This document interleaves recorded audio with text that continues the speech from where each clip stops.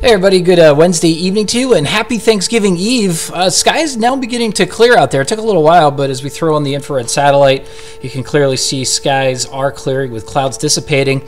And clearing skies with a uh, Arctic air mass in place means it's going to be a cold night. Temperatures are already dropping uh, well down uh, below freezing tonight. In fact, a number of spots could be well below zero by early tomorrow morning, including the Crosby area and up towards the Canadian border.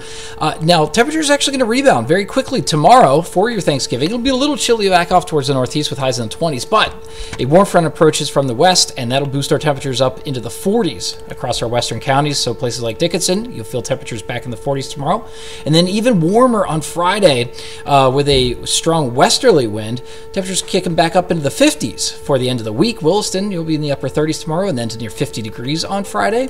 As we look at Minot here, your temperatures will be in the mid 30s tomorrow for Turkey Day, but then warming up to the upper 40s uh, with a slight chance for a few uh, rain or snow showers by later tomorrow afternoon, or excuse me, Friday afternoon. And Bismarck temperatures in the mid 30s for Turkey Day as well. We do warm up on Friday. Outside chance for precipitation. I think we'll stay mostly dry though, with temperatures staying in the 40s and 50s in what looks to be a mild and dry pattern developing uh, this weekend. We'll have the latest for you coming up at 9 or 10. See you then.